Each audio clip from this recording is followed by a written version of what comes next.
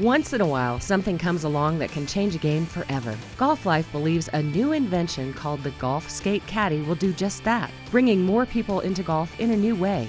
Let's learn more about this game changing way to ride the course.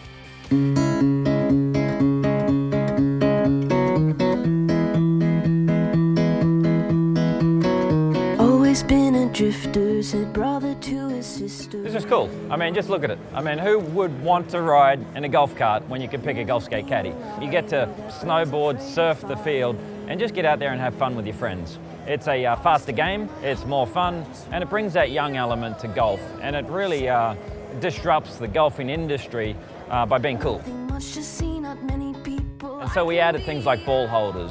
Uh, we added a grass so you could use your uh, golf cleats uh, on, the, on the board. You need an umbrella if it starts raining. You needed an area to put beers and, and, and, and drinks with, a, with some ice. We, we added ABS brakes. We've got a dual drive system, so we have motors on the front and the back. And what we've done is we've added a lot of sof- software to make it more safe. So going down hills, we automatically add brakes, right, so you can't accelerate out of control. We added a soft acceleration profile so you just don't gun it and then uh, end up on the grass. So we added these things on, and, and where we are, uh, you know, four years later is the Golf Skate Caddy. I tell you what, this is a workout. It really is. I think it might be more of a workout than walking because you're engaging your legs, your quads, you're engaging your core. Um, you're having you, I mean, obviously on a golf course, hopefully you don't have to navigate a wandering pedestrian, but this is a blast. It does give you a good core workout as you sort of feel. It's the turning and the core building. It's like, uh, you know, some people might think it's like yoga. It's almost a bridge between walking and karting. So what we've done is we've enabled as many safety uh, features into the product as possible. So golf courses, what they're telling us is that, that uh, they feel it is it's safer sometimes than golf carts. The riders go directly to their own balls. They've already selected their club as they're approaching the ball.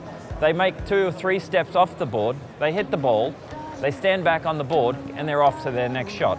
What they found is that they can actually go and put out six riders at a time so they can put more people through their golf course during their peak time. And during the quiet time, they can drop it down back to one rider and enable a, a, golfer to go and do a very fast round when there's no one in front of them. And we want to make sure that our customers know how to pop up the umbrella and how to start and stop and how to be safe on the board. If you want to buy one, you just can uh, fold it up. The mechanism sort of folds down, the seat pops off, the, the battery can pop off, and you can actually put it in a, a fairly mid-sized sedan.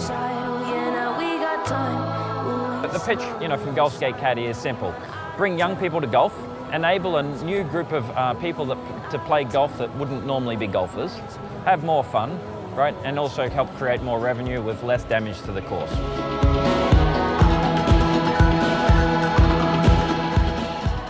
But it's, uh, it's, it's just get out there and have fun with the game of golf.